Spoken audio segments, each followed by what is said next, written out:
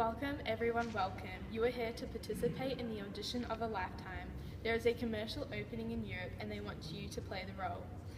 The director wants the setting way back in medieval Europe on a feudal manor. This is where serfs worked on, for their feudal lords and farmed crops in exchange for protection.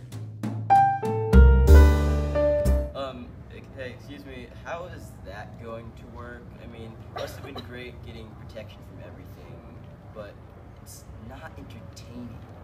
I want, I, I want to go home. You know what? I don't even care about the money at this point. But what about the fame? This is Europe, big time over there, you know. Your career could go international. Through a farming commercial? Yeah, I don't know if you want the role, but I sure do. I can picture myself in this situation. Hey, Andre. Silence, everyone. Hopefully, you have already submitted your headshots and information to admin and picked up a number. Number five, we are ready for you. Looks like that's me. Good luck, dude. You're gonna need it. Dude, don't intimidate him. That's what you have to do to your competition. Learn from the pro. One minute for preparation and maximum two minutes to perform. Here is your topic. 800 to 1200 was considered the medieval warming period. You need to create a scene using information I give you. Go.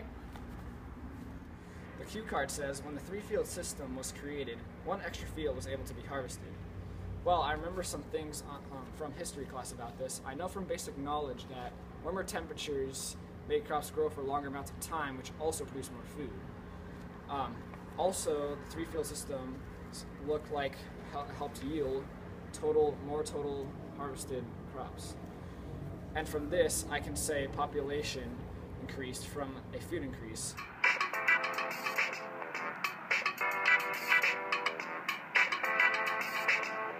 Getting hot in here, so now more crops will grow. If you implement the three field system, you'll have more food and your babies won't die. Hey, dude, I think you're next. Uh, I don't want to go. It's not that bad. Okay, I'll give it one shot.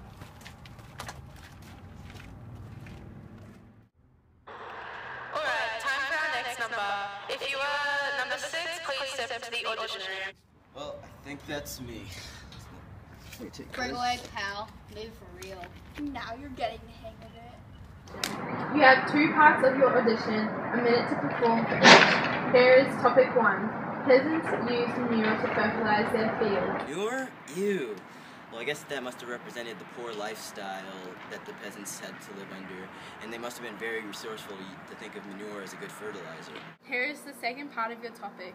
The water powered mill is where the peasants went to grind the grain after harvesting. This is also where they paid their tax to their feudal lord. This is the mill where the peasants went to have their um, harvest taxed and their um, for their feudal lords, and they kept a small portion for themselves? This makes sense. Um, hi there. Have you been having trouble harvesting your crops each year? Has your family been suffering from lack of food and been poor, broke, and just dying? Well, I have a solution for you so you can get your more food. It's called manure. Smells like poo, because quite frankly, it is, but it gets the job done just fine. Once you're done harvesting your crops and you're ready to go, now you can come over to this water-powered mill over here, where you can simply put it in the mill, and ta-da! Nice crops that will last you and your family the entire winter months.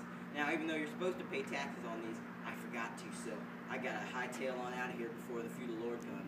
Bye-bye now. Here is your topic. Another not too popular technique that came out in the 1800s was heavy plowing.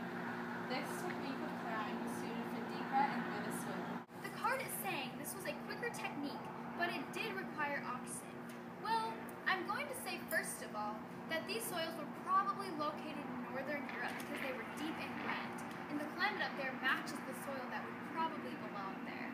Also, since this type of plowing needed oxen, the peasants probably couldn't afford to plow like this. Do you own an oxen? well, maybe heavy plowing was the type of plowing you need. As long as you have an oxen, you'll be right and good for this. I don't even know what I'm saying. You know what? My audition is over. Probably number eight. You're our last auditioner for the day. Here is your topic. The padded horse plow came out in the mid 800s. Horses could pull three acres a day, while oxen could only pull one. Go. Alrighty, I'm positive that since horses could get work done faster, the need for workers was like lessened. So that made workers be able to do other jobs other than farming. Alright. Do you want to be a blacksmith? Or an artisan? Or maybe even a baker? Well, the padded horse plow made this all possible. Yeah! That was amazing.